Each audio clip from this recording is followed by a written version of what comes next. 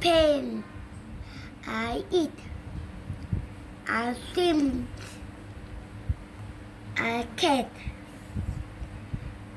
I want. I read.